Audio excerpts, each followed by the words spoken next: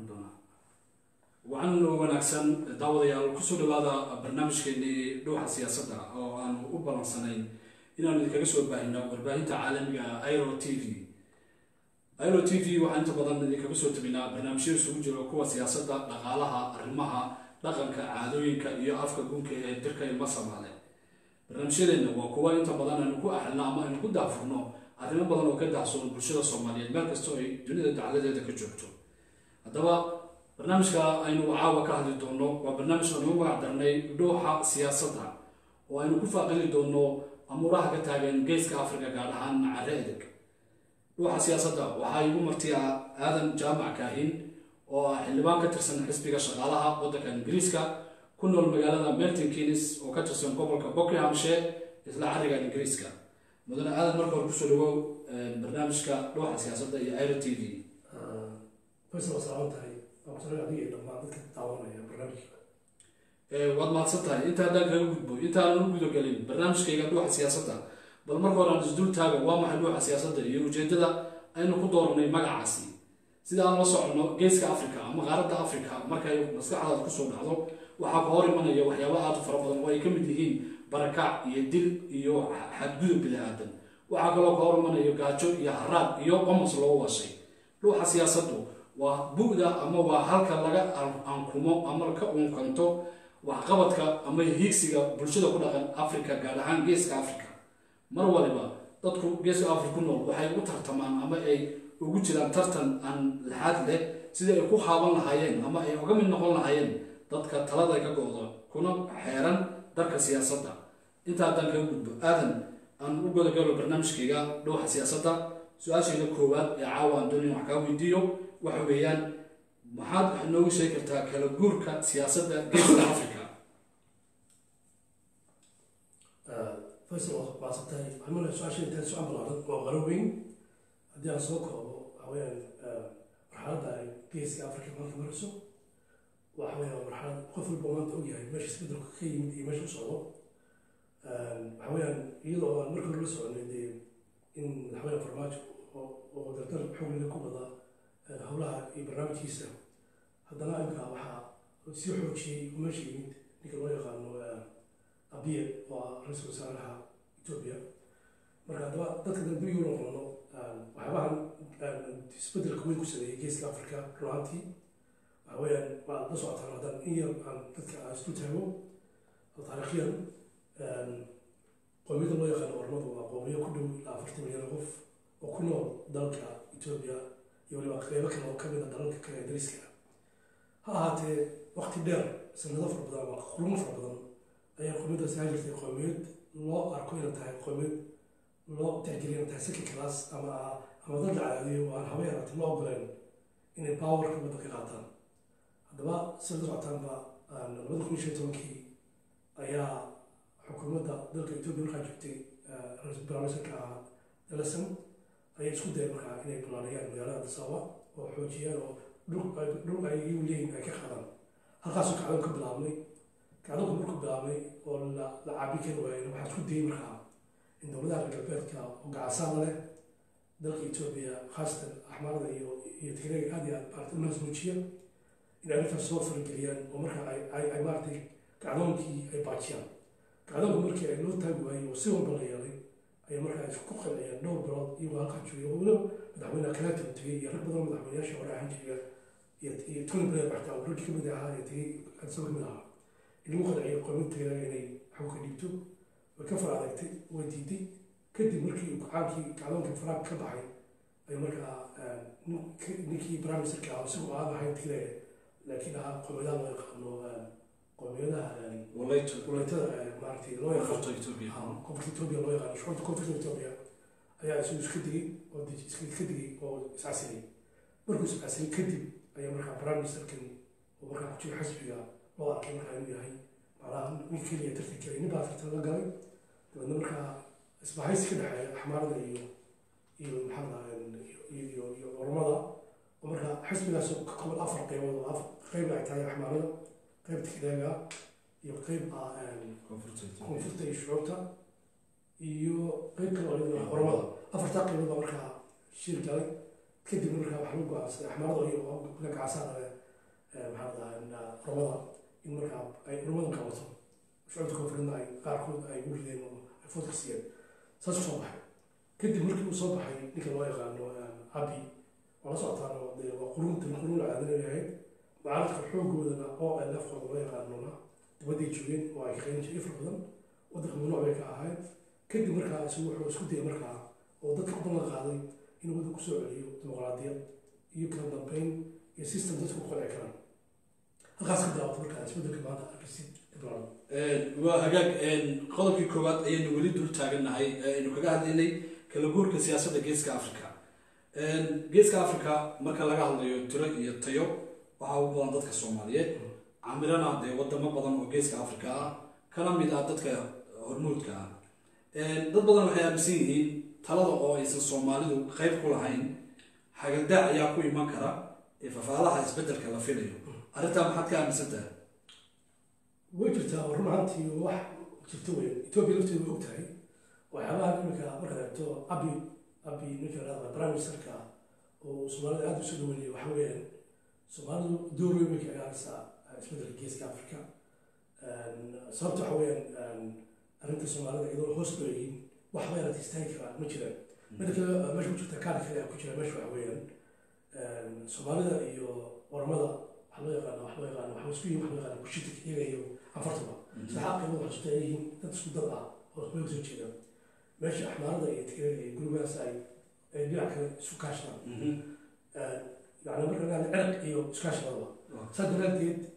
wuxuu fahansiya cabi isagoo aa nin aqoonyahan oo sara ah tala badan waa ka qaatay dadka ormada ah in akhiritaanka ugu dambeeya lacabka ugu dambeeya la ciyaaraya ama ama haddii ay kacdo ka dhaco etoobiya ama rabshado sii socdaan ama hadhow khilaafaad ku sii bato in ay tigreega iyo iyo axmaarada noqon karaan daba qolo oo maaragtay isbahaysay taana waxaa arrinteeda keenaysa mataqaana qabiil ka hor markii ay ay ay ka jidhacyo qaraxyo ka dhaceen maaragtay adsaba booq yar dhacay mudaharaad ka dhacay meesha xooggelay tigreega iyo iyo axmaarada markiiba waxay samaysa wax loo yaqaano wadahadal baa ayaa dhex maray inay iskaashadaan saa daraadeed ayuu markaa abi iyo qoladan kale mucaaradka o l f loo yaqaan ormada ay leeyihiin waxay doonayaan marka inay soo dhaweeyaan soomaalida oo si gaar ula hadlaan iyagoo danta ku jirto oo ah haddii ay gobolkaas soomaalida u go-o oo soomaaliya ku beerana oo abti laga qaado fuujir karaan mar walba soomaalidii dee garab bay ka heli karaan. Haddii ay etoobiya ku jiraan garab bay ka heli karaan. Marka saa darteed ay mar walba ayaga ay garab u jirtaa in soomaalida ay power weyn ka ciyaaraysa meesha. Waa hagaag. Qodobkii labaad ee barnaamijkeena dhuwaxa siyaasadda ayaanu u gelaynaa. Waxaa jiro fafaalo laga muujinayo. Heshiis la filayo dhawaan inuu dhex maro dowladaha eritrea iyo jabuuti waxaynu la soconaa jabuuti iyo eritrea. Sanado ka hor waxaa dhex maray dagaallo dagaaladaas oo dalka jabuuti ay dhul ka mid ah oo loo yaqaana ras dumera ay ciidanka eritrea habka ku dhigeen. Fafaalahaasi waxaa ka horreeyey iyo saadaashani wasiirka arrimaha dibadda inuu yimaado dalka jabuuti heshiisyo badan oo ay budig u leey budigoodu ay lahaayeen madaxweyne maxamed cabdullaahi farmaajo iyo iyo doctor abiy ay lahaayeen. Kadib waxaa la filaya in jabuuti laisugu yimaado isaaq afwarqi madaxweynaha eritrea iyo ismaaciil margeele ay ku wada kulmaan magaalada jabuuti fafaalahaasi saameyn intee laag ama dheelitiranka geeska africa saameyn intee laag ayuu ku yeelan karaya. Horta saameynta qaadi doonaa dadkii daawanaya marka hore. Horta waa inay fahmaan maxay tahay raas daamura marka hore. Taasi darteeda taariikhyan meesha ku taallo jugraafiyan iyo taariikhyan inay fahmaan important marka intaad su'aashaasoo noqon ka hor raas dameera waa jasiirad weyn oo ku taalla meesha loo yaqaan babmanka loo yaqaano ee meesha camiran ee maraakiibta caalamka maraan ee afafka meesha laga galo swiiska badda cas ee kagalayso xagga swiiska laga galo. Meesha soo soo yaraatay muhiimka ah ayuu ku yaalla agteeda. Xuduudda markaa eritrea ugu saameeya waa jasiiradaas iyada oo jasiirada weyn ah saa la socono berigii hore ee gumaysigu jiray dalka faransiisku waxaa haystay jabuuti xukumi jiray in fara badan. Dalka kale eritrea waxaa haysan jiray talaaga jiray. Marka jasiiradaasi laba qaybood loo qaybsaday oo qaybna markaa faransiiskaasi haysan jirtay hormarnayna qaybta koonfureed tahay qaybta waqooyi talaagaa fadhiyay saas horta markaa ay marka hore jasiirada loo kala haystay haddaba markii ay ay gumays ay qaateen xornimada qaateen oo labada qoloba ka baxeen ay jasiirad markaa waxaa noqotay jasiirad buuq iyo maaragtay iyo rabshad meesha iyo iyo khilaafka ha ahaatee jasiiradeen markii lasu qabsaday ilaan heshiinku waxay u soo jeedisay eritrea inay maaragtay faraha ka baxdo siyadan de eritrea way ka qulad badan tahay etoobiya waxayna ka qulad badan tahay jabuuti saasay markaa ku soo qumaysa ay ku ay ku gashay meesha midda kale waxa weeyaan taa marka laga tago haddii su'aashii aad weydiinaysay inkaan ku noqono horta yani heshiiska ka horreeyay kan eritrea waxaa heshiiskii etoobiya iyo iyo eritrea etoobiya eritrea heshiiskaas waxaa aada lagu talinayaa inay inkastoo dee ay ay ka dambeeyeen imaaraadka iyo lahaa iyo sacuudiga ayaga oo dantooda ku jirto in labada dal la heshiisiyo mar weyaane in imaaraadku ay ka argudato maxaa jabuuti xagga la soo rito midda kalena waxa weeye waxay ka cararayeen eeraanta inay soo gashay meesha. Haddii markaa ninkaas iska fadhiya meeshaas saa u joogo eritrea waxaa soo gala eeraanta oo horeba saldhig meesha ku samaystay inay ku yaalmayso saa darteed ayay markaa ayuu ka hortegaya in fiditaanka eeraanta ay soo fidayso alreadyba ay ku soo fitay xuudiyiinta jooga maaragtay yamantaba haddii ay soo galaan markaa eritrea oo ka soo jeeda saudi arabia ka dalku khatar buu geli karaa gadaalo soo rakin karaa dhib badan baa meesha keeni karaa. Horta saas markaa ayuu labadaa qodob oo qodobna ay imaaraadku doon inay ka argutaan Dalka Djibouti. ka argutaan waxaa kama soo wareegaan qodobkana uu yahay kale ahaan in aan iiraan la ogaano meesha. Saasay marka sacuudiga horta marka hore ayuu soo galay iyo imaaraadka heshiiskii ugu horreeyay aan la socotay uu ka dhacay inkastoo maxamed Far- farmaajo uu ka qayb qaatay laakiin marka dambe waxaa lagu qabtay haddana meesha loo yaqaano laakiin haddaba dhinacan kale jabuuti iyo iyo dhexaadiskeed waa horta waxaa door ka ciyaaray maxamed farmaajo iyo ra'iisul wasaare laakiin door waxaa ku lahaa maxamed farmaajo. Ujeedada kale ahayd waxay ahayd macdama dalal kale markay ay heshiiyeen dee in markaa jabuutina ay noqon meel keliya oo iyadoo lafteedu ah meel aan ka qayb qaadan geeska afrika. Saasay marka ku bilaabatay marka heshiisku sidaa u sheegaysayna mataqaanaa wasiir khaarijiya saddexaad wasiir khaarijiyu waxay hore u tageen muddo bilki laba bilood ka hor ama bilki bilka hore dalka jabuuti hore ahaan oo la socday la taliyaha maxaa la dhahaa eritrea. Oo sida meesha ka qayb galay shirkaasiga marka weli arrimuhu way socdaan. Heshiiskii hore qaybta hore inay heshiiyaanna sacuudiga lagu qabtay. Laakiin weli way socotaa oo technicality iyo heshiis loo geli lahaa weli lama dhexlin dad badan waxay qabaan run ahaantii isla jaanqaadkii isbedelkan laga hadlaya ee geeska africa ka cana qaaday isla jaanqaadkii hore ee eritrea iyo ethoobia iyo soomaaliya oo saddexdaa ah inay ku habbooneed inay jabuutina qayb ka ahaato. Maxaad is leedahay ayaa dib u dhigay inay jabuuti ay halkay saddex dowladood ka noqdeen ee afar uga noqon waayeen sababta dib u dhigtay adigoo soo xoorinaya waa maxay baad is leedahay? Cidda waxa weye marka hore way kala horeysa. Ama heshiis la galayo waxaa loo gaara marka hore qodob qodob baa loo gaara waxaa weeyaan laba dalo qola mar la soo jeedi kara meesha saan socota maxamed farmaajo markuu imanayay farmaajo markuu imanayay madaxweyne maxamed farmaajo imanayay eritrea waxaa cusubay asaf asaf farwaanka cusubay asaf farwaankana dadka dhalinyarada ku jirta haddii loo sheego wuxuu yahay waxaa weeye waa nin markiisii hore soo soo fuli jiray oo dowladdii hore ee soomaaliya ay gacan qabatay oo ciidamada eritrea ku tabartay isaga iyo mala sanaawiga markaasoo laftiisu wuxuu abaal weyn u hayo soomaaliya marka markii ay heshiiyeen isaga iyo ethiopia etoobiya heshiiyeen ay markaa u gartay isagu inay habboon tahay waqtigan in soomaaliya uu la heshiiyo abaal weyn kule taasuu marti qaada marka ruuxa saddex gees waxaa utii waxa weeyaan labadooda hore u heshiiyey farmaajo loo yeelay marka hore horta marka hore heshiiskooda marka marka beelaan dhigo ayaa loo yeeli karaa markaa jabuuti saas marka saddexdooda isu horreeyay marka hore waa hagaag daawadayaal weli waxaad nagala socotaan iro t v. Iyo barnaamijkeenii dhuuxa siyaasadda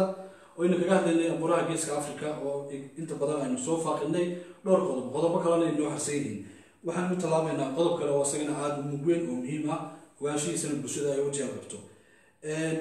Su'aalba waxay odhanaysaa sidee lagu heli karayaa dad iyo dowlad midaysan? Dhulka ama deegaanka soomaali galbeed ugaadheniya ama somali state hadda loo bixiyey waxaynu ognahay qarniyo iyo qarniyo dadka dhulka ku noolaa tacadi yani dhibaatooyin badan oo ay kala kulmayeen nidaamyadii kala dambeeyey ee etoobiya ama abisiniyiinta inuu jiray maanta waxaa dhacday isbeddel aad moodid inuu xawaaro ku socdo oo wax badan bedelay ifafaalo badan iyo doras kalena dhaliyey waxaa ku noqday magaalada jigjiga hormuudkii jamhadda wadaniga xoreynta ogaadheniya oo uu hogaaminaya amir maxamed maxamed maxamed cumar cusmaan iyo dee raggii kale la midka ahaa stateka oo uu hogaamiyo hadda madaxweynaha ku-meel gaarka ah mudane mustafe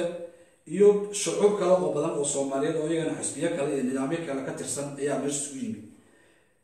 Dadku waxay u jeed qabaan inay ka hoos baxaan nidaamka guraacnaa ee qarniyada soo jiray ee adisababo laga soo waaridayay sideebaad is leedahay way ugu habboon tahay in dadka iyo de- deegaankaasi lagu midayn karayo hortahay waxa weeyaan waa waa waa opportunity aada wanaagsan ama waa chance aan hortii laga faa'iidaysto oo chance-kaasi oo hortii ay ka qayb qaadatay sheegayna qomiyadda ormada uu hogaaminayo prime ministerka oo u arkay markaa in cadaadiskii faraha badnaa ee xamaarada ama tigreeg ay ku hayeen dalka etoobiya aanu sii socon karin marka haddaan soo noqdo aan soo gaabiyo su'aasha aan weydiisay iminka already way joogaan oo oo ay laftu heshiis bay la galeen oo ay kula galeen eritrea waxaana ay kula galeen etoobiya iyaga ay ku wada galeen eritrea intaan intaan ku gudaha gelin ka hor heshiiskaas laftiisa oo ay kala seexdeen oo ugu muhiimsan qodobada ay ku seexdeen waxaa ka mid ahaa in oo ay laftu dagaalka meesha geli lahayd iyagoo xisbiga ay gudaha galaan hadhowna si abti loo qaado marka abtidaasna haddii dadku ay ku qancaan marka ay ka go'aanna ayagu xaq u leeyihiin haddii ay ka go-in ay xaq u leeyihiin marka waxyaabaa marka ay ku adkaysteen oo ay ku sharaf leeyihiin xisbiga loo yaqaano o o n f ama ogaden maaragtay ama jooxo ama jooxba loo yaqaano. Ku sharaf ku leeyihiin waxa weeyaan qodobadii ay hore u aaminsanaayeen oo syria ay dhiibteen waxay marka hore guulandoon baanu ahayn guulandoonka gudaa kodin marka dadkii waan wacyigelina dadka waxa weeye waa waa dad brainwash lagu sameeyey oo waxaa lagu afufay oo waddamada laga daalan ka gudaha markaan galno oo aan diyaargarino kadib markaa abtidiina markaa saas loo qaado marka abtida haddii loo qaadana the bay leeyihiin taa marka waxaan ku daraya inta aan gudaha gelin ka hor waxay hore adiga baa ka qayb galanay shir hore oo ay ku yeesheen alliance qolo gobolka sid ka socota ama loo yaqaano saarda loo yaqaano ama gobolka loo yaqaano dirlaba dirlaba oo uu hogaaminayay ninka loo yaqaano doctor zikriya qoladaas oo la baxda somali maaragtay alliance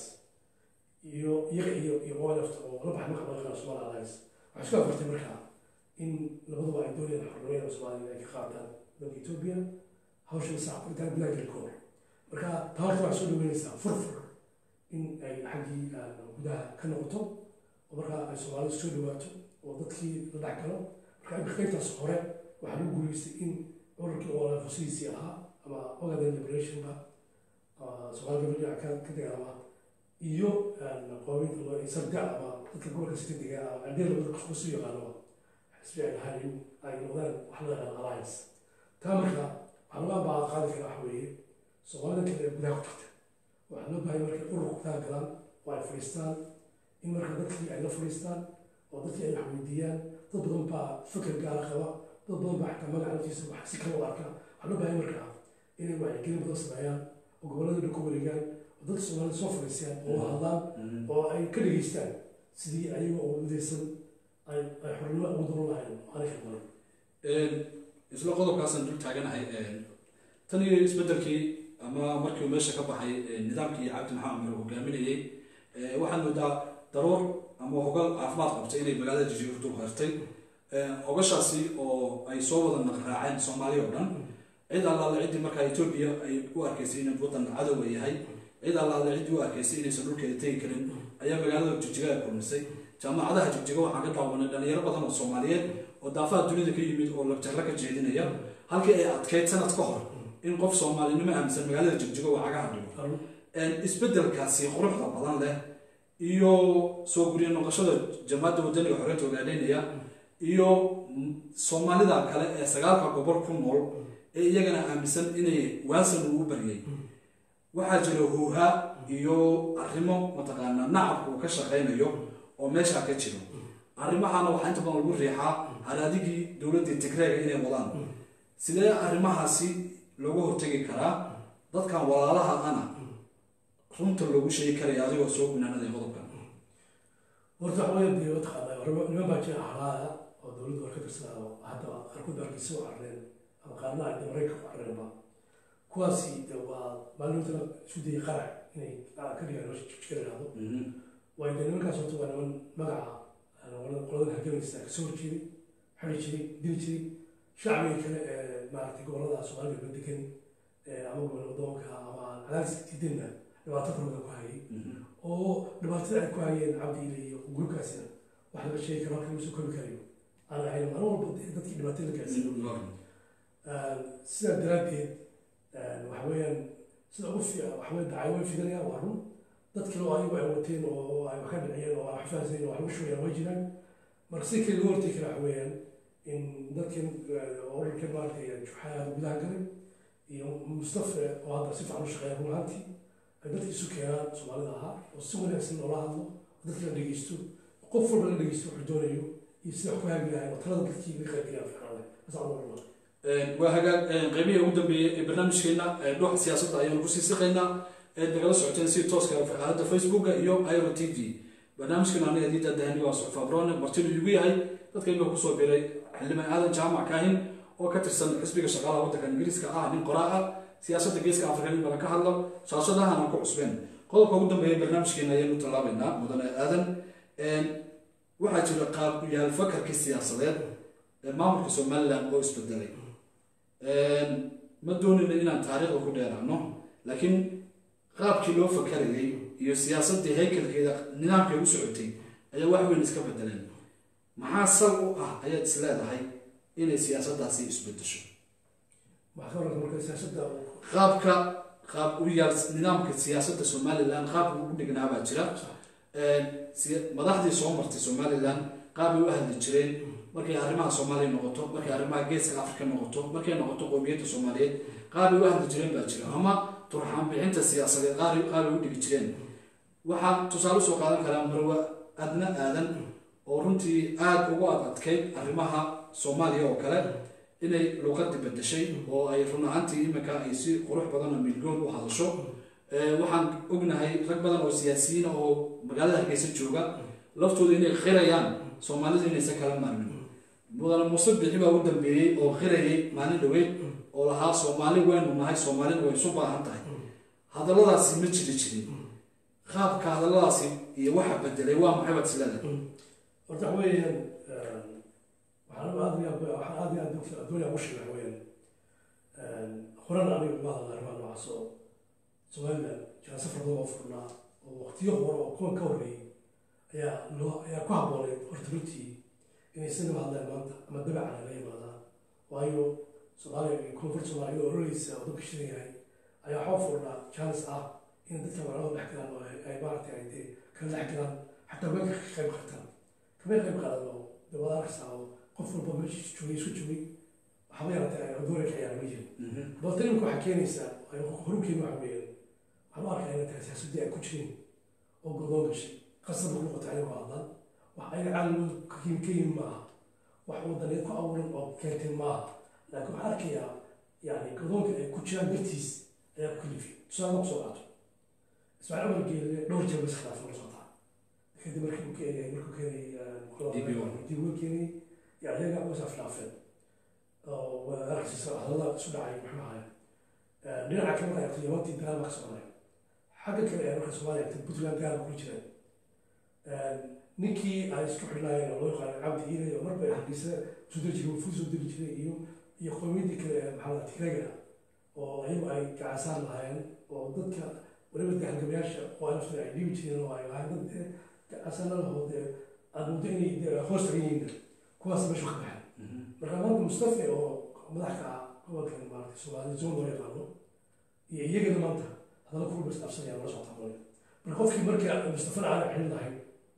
etoobiyana abi abi prime minister abi uu yidhi anigu ninka kale la kulmi karaa waa waxa weeyaan maaragtay waa maxamed farmaajo lama kulmaayo somaliland iyo maamul goboleedka midna la kulmaayo. Oo waxa ay isu kaashan yihiin maamul goboleeda laftooda ay sidoo cararayeen ilaa kismaayilan ay ahayd godoonka lagu sameeyey ayay tan la mid tahay markaa. Marka godoonka lagu sameeyey dartiis baa keenaysa waxa marka qofkii aan baan etoobiya aan ku xidhan oo utegi karin jabuutina aan cilaaqaad kala ficneen xagga kale ee soomaalida ee maaragtay gobolka yaqaano ama puntland la baxday baa dagaal kula jiraan dee qofka marka ku jira godoon meel u tegi kara haba yaratay ma jirto taasaa jirtay markaas marka godoonkaas keliya ma aha waxaa kaloo timid isku daweyn ka yimi xaggii soomaaliya. Madaxweyne maxamed cabdullahi farmaajo iyo xasan cali khayrle waxay tusaale noqdeen macnaha gobolka soomaalida oo dhanba tusaale ahaan u shaqeynayaan ama musuqmaasuqa ay la dagaalamayaan dowliskii wadankii sumcaddii wadankii waxaasoo dhan markaa lafteedu waxay qof dadkii shacabka deganaa ama waqooyi ama koonfur deganaa dhan waxay tusaale noqotay maamul wanaagga ay wadaan. Inuu u baahan yahay in lagu dego tusaale ahaan haddaan ku soo qaadana iminka safaaradaha imanaya magaalada muqdisho. Isu daba dhacayaan maalin walba qaar cusub ay maraya wax la soo koobi kara maaha. Hadda waxaa ugu dambeysay safiirkii mareykanka oo isla safaaradii weyn ka furtay. Weliba safiirkaasi waa nin professor ka ahaan jiray qaybta difaaca ingiriiska mareykanka oo aada loo yaqaano nin khabiir ah oo hadda isaguna soo digay waan og tahay oo mareykanka kuma horreeya meelaha qaarkood inka libya waa ku beriyay khasaaro ka dhacay laakiin soomaaliya wuxuu maraya xaweendana gaara oo meesha iyo arrimo gaara marka shirkada shirkada oilka ama saliida baala ay ku lahaayeen dartiisa ayaa la soo kordheeranaya marka isbedelkaasi xoogge ee ka socda iyo weliba caalamkii oo maxamed farmaajo xagga siyaasadda arrimaha aad iyo aad u soo dhaweeyey iyo weliba dee bankiga adduunka la shaqeynaya imft iyo iyo weliba lacagihii la siin jiray kenya ku dhactay berigii hore ama gobollada somaliland waa carari jireen hay'aduhu ay siin jireen oo laga soo wareejiyey laftoodii oo toos muqdisho lagu wareejiyey. Oo la socoto in oo doctor bele oo raanta wasiirka maaliyadda aada u shaqeeyey. Markii u dambeysay afkiisa ka yidhi bankiga adduunka wuxuu noo ogolaaday waxaana waxay hayaan si marin jiray loo diri jiray kenya oo dhan inay ku soo dhacaan magaalada muqdisho marka wax kaloo jira oo godoomiyey ninkii u fadhiyi jiray berigii hore un-ta fadhiyi jiray kenya fadhiyi jiray fadhiyiisa u ahaa. Wuxuu soo fadhiistay magaalada muqdisho halkaana wuxuu soo wuri anigu wakiil baan soomaaliya u ahay. Markii hore waxaa jeeda kenya fadhiya laakiin maa kenya fadhiyo muqdisho fadhiya soomaaliya masuuliya kii european unionka fadhiya halkaasu fadhiya nin walba wuxuu dhacdaa soomaaliya anigu wakiilka marka arrimahaas oo isbiirsaday ayaa godoon ku keenay. Godoonkaasa marka ka yarsiiyey inay si loo hadla wax ayuu hadal ka yimin maaha isku hadal ka yimanayaan oo dhalinyar tahay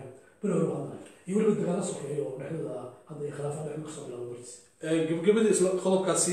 maan la oran karaynin bulshada ku dhaqan shanta gobol ee gobollada waqooyi ay ka kooban tahay somaliland waxaa muhiim ah inay si walaalnimo iyo qudhooda wada hadlaan. Haddii siyaasaddii arrimaha dibadda soo xirantay maynan habboonayn in gacmo geeli jira hoos baa loo meynaaye inay hoos u wada hadlaan oo shanta gobol mudakarkeeda iyo aqoon-yahankeeda iyo dhallinyaradeeda iyo aldoorkeeda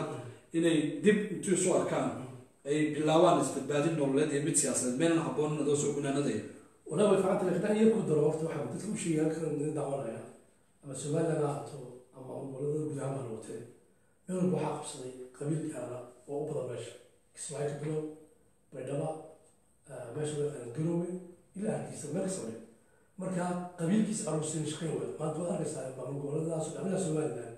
mid walba musuqmaasuqa ordaya oo dhaqaalihii aruurintii dadkii cashuurtii laga arurinaya marka musuqmaasuqa loo cunaya maamuldaraa jirta ismashii wadanka lagama qayb qaadan biyihii caafimaadkii waxbarashadii waxba lagama qaban dadkii markaa way fahmeen in nimankan meesha jooga ay yihiin niman darada u shaqaysanaya oo aan keeni karin midda kale waxaa meesha jirta in aan dadka u sheegaya in maamul maamul goboleedyadii lagu dhisay qabiilka u shaqayn waayo sida xalka keliya iman kara u yahay oo ay waqooyiga ku qancin kara kufurna tahay laguna masixin kara kuwaas ay tahay keliya iloo noqo sidii hore ee taariikhdu jirtay oo ahayd markii hore soomaaliya laba gobol waxay istrigi ahayd labada gobol istrigi in isu yimaado ama faraalagaan waxa markaa noqoto dee waqooyigii koonfurtii hore ee markii hore wada hadlay ee labada gobol ay isu yimideen labada ingiriiska iyo maraykanku markii wada hadlaan oo ay conditions ka dhigtaan in sidaa wadanku noqdo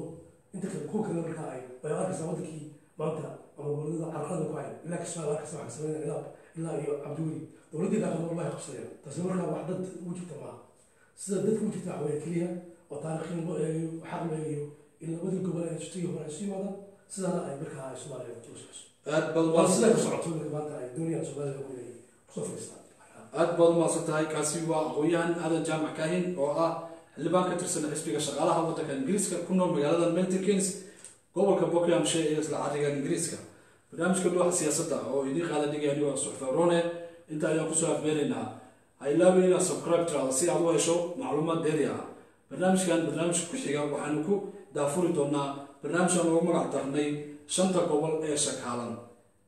Inta aanu barnaamijka mid la mida aynu ku kulmi doonana waxaan idin leenahay wixii tale iyo tusaale ah waxaad inoogu soo hagaajisaan ciwaanka ah iro t v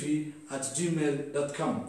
Waxaan idinkaga tegaynaa sidaa iyo wasalaamu calaykum waraxmatullaahi wabarakaatu